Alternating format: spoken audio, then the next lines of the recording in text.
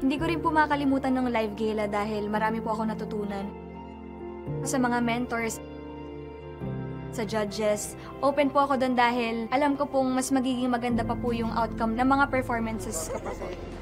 Bago po ako sumali ng Idol Philippines, hindi po ganun kataas yung self-confidence ko. Pero dahil po sa mga tao na nakikita ko po yung mga magagandang feedbacks po nila and mas tumibay po ako. Sobrang grateful lang po ako and sobrang overwhelming lang po yung, yung support nyo kasi hindi ko po inakala na mamahalin po ako ng ganito ng mga tao.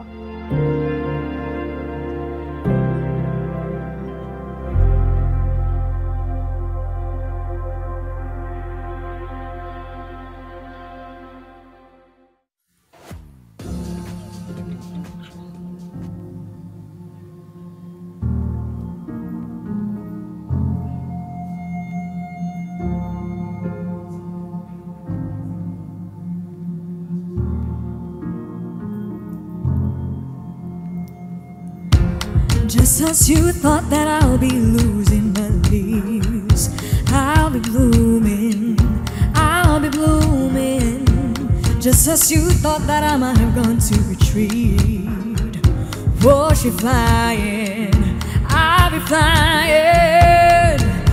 Amount of pain and misery can take away my pride so easily.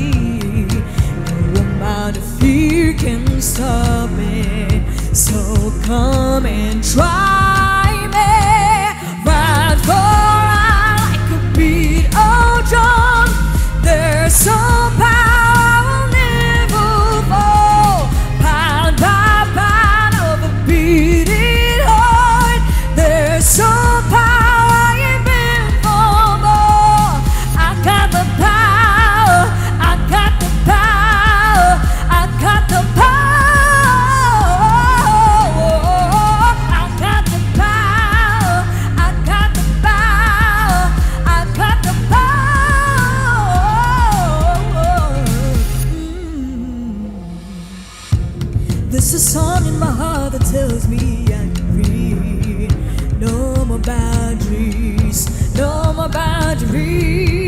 Just when everyone thought that I am weak, not today, say not today. No amount of pain and misery can't take away my pride so easily. No amount of fear can stop me. So come and try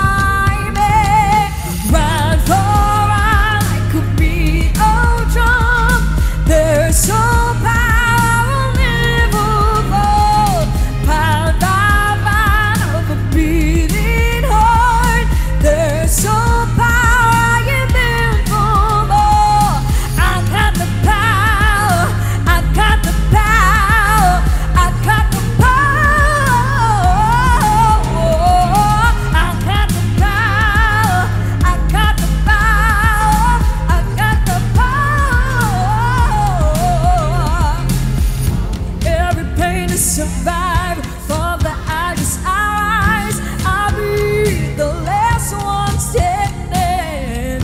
Every pain is survived like the sun out of rise. I'll be the last one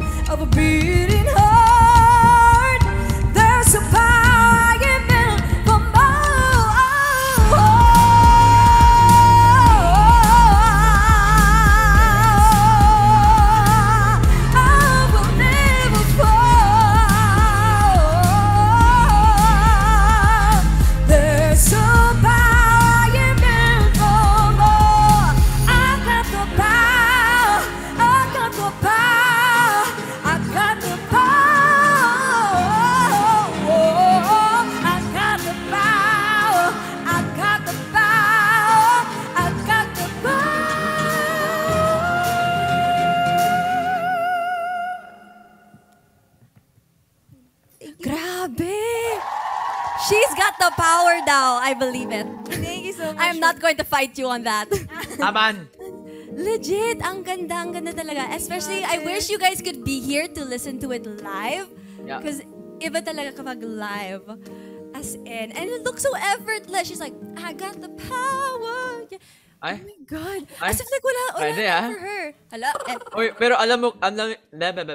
alam nyo guys kung bakit uh, sobrang powerful yung kanta na yan. It's called The Power, of course. It's there in the title. But this was composed by one of the most powerful, amazing people, composers that we have. Sir uh, Sir Kix, Sir Kiko Kix Salazar, especially, of course, uh, or specifically for the idol hopefuls themselves. So, anong anong feeling? Uh, uh, and that you're you're singing a song created by one of the best. for Wow. you, especially for you. Yes.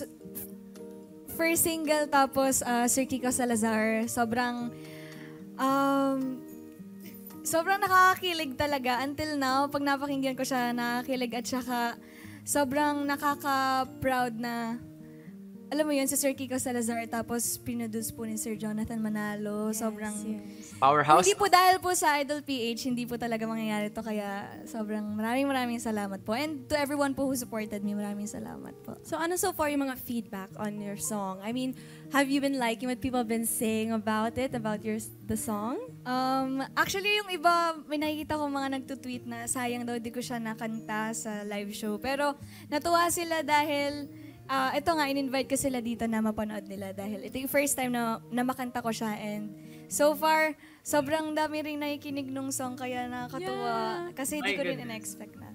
Even me, I downloaded all of the Idol songs because they're all so so great.